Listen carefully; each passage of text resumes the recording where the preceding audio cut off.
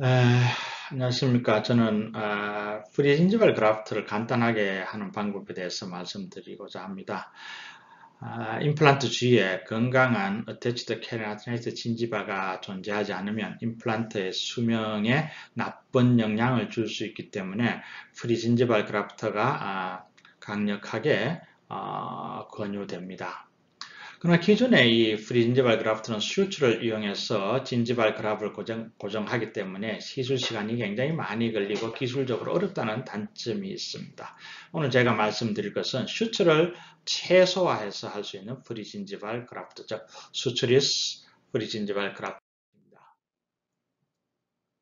아, 이 슬라이드에서 보시다시피 임플란트 주위에는 아, 각화치은이 거의 없고요. 또 vestibular space도 없습니다. 그래서 이렇게 임플란트 보철, 이런 경우 임플란트 보철을 하게 되면 oral hygiene care에 여러 가지 문제점이 있기 때문에 반드시 각화치은을 아, 만들어주는 것이 중요합니다.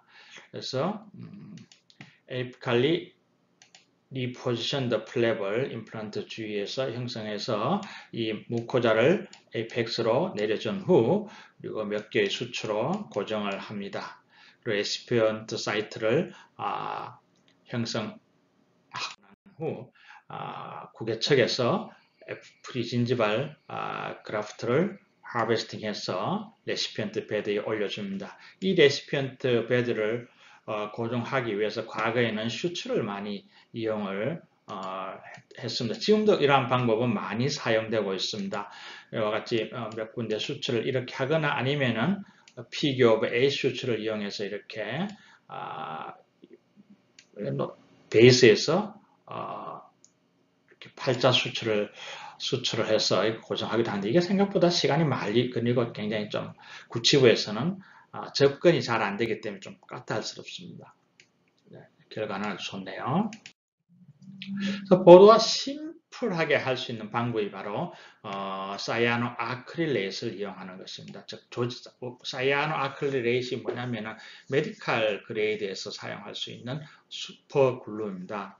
여기서 어, 이 슬라이드를 보시면 바칼에 거의 각화치은이 없는 것을 보실 수 있습니다. 그래서 에피칼리 리포지션 더 프랩을 형성을 하고 난후 아, palate에서 채취한 여러 조각의 얇은 아, free gingival graft를 올리고 혹은 하나의 크고 긴 free gingival graft를 아, 올리셔도 됩니다. tissue cyanoacrylate를 위에 올려줍니다. 올려주고 나면 특별히 고정을 하지 않아도 이렇게 아주 결과가 매우 양호하다는 충분한 양의 각화치은이 형성되는 것을 보실 수가 있습니다. 전체적인 외과적인 술식은요. 마, 어, 부분 마취에서 infiltration 마취에서 시작을 하고요. 어, recipient bed를 형성한 후 어, 같은 측의 에, hard palate에서 어, FGG를 어, harvesting하고 어, donor site에서는 바로 지혈을 위해서 cyanoacrylate를 어, 몇 방을 뿌려주고 3-way syringe로 드라이 시킵니다. 그리고 recipient site에 준비된 recipient site에 FGG를 올리고 난 후 어, cyanoacrylate로 고정을 하고요. 가볍게 드라이 어, 시킵니다. 그리고 어, FGG 위에 periodontal pack을 올려줍니다. 어, 좀 디테일하게 살펴보도록 하겠습니다. 임플란트 보철물 주위에 각화치은이 매우 부족한 것을 보실 수가 있습니다. 그래서 에피칼리디 포지션 더 플랩을 어, 형성을 합니다. 때 horizontal incision은 gingival sulcus에서 gingival crest에서 한 1 내지 2미 떨어진 곳에 형성을 하고요. 앞과 뒤에 버티칼 인시전을 어, vestibule의 어, base까지 만들어주고 난후 어, flap을 밑으로 어, split thickness로 flap을 제껴서 밑으로 내립니다. 밑으로 내리고 필요하다면 이 flap을 여기에 suture를 한두 개 할 수도 있고요. 어떤 경우는 뭐 suture 안 하고 넘어가는 경우도 있겠습니다만 보통은 한두 개 suture를 해서 에피칼리 리포지션드 플랩을 여기에 고정을 합니다. periosteum에 걸어서 이렇게 고정을 하죠. 이때 에, 고정을 하기 전에 에, 입술을 당겨서 손가락으로 입술을 당겨서 이 recipient site에 움직임이 있는지 없는지를 확인해야 합니다. 여기에 움직임이 있으면 좀더 얇게 조직을 dissection해서 muscle 조직을 남겨주지 않아야 됩니다.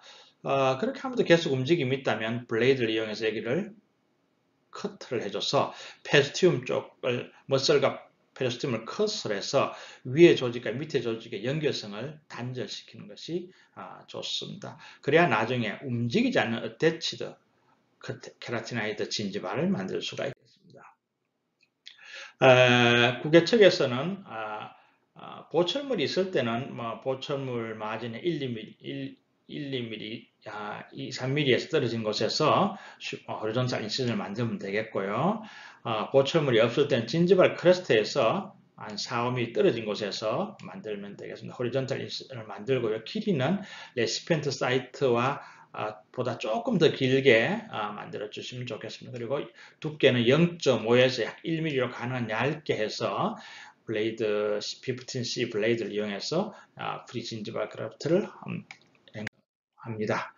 아, 그래서 아, FGG를 어, releasing 하고 난 후에는 바로 donor site에 cyanoacrylate를 뿌려서 드라이 시키면 어, 3A 시리즈 드라이 시키면 지혈에 도움이 됩니다. 어, 채취한 어, FGG를 어, recipient bed에 놓고요. 어, cyanoacrylate를 anterior border와 anterior border와 superior border 그리고 posterior border에만 올리고요. 가능한 한 베이스 쪽에 베이스 쪽에는 어, cyanoacrylate를 올리지 않는 것이 좋습니다. 왜냐하면은 예, 이렇게 베이스 쪽에 cyanoacrylate를 넣으면은 어, vestibular mucosa와 FGG가 붙어버려서 이 조직이 움직일 수 있고요. 나중에 keratinized gingiva는 형성이 되어도 attached gingiva가 만들어지지 않을 수가 있기 때문에 그렇습니다. 그리고 난 뒤 three-way syringe로 가볍게 어, 뿌려 어, 드라이 시킵니다. 그리고 지혈과 그리고 지혈 목적과 어, 그 FGG를 부가적으로 고정하기 위해서 periodontal pack을 올려주면 좋습니다. 세 종류의 팩을 사용할 수 있는데 Coe-Pak이 가장 저렴하고요. 어, 많이 사용됩니다. 저 역시 많이 사용하고 있고요. 어, 두 번째로는 레저 팩, 이건 흡수성입니다. 아, 세 번째로는 광중화 팩, 아, 이런 것들도 굉장히 좀 비용이 비싸지만은 아주 어, 결과가 좋습니다.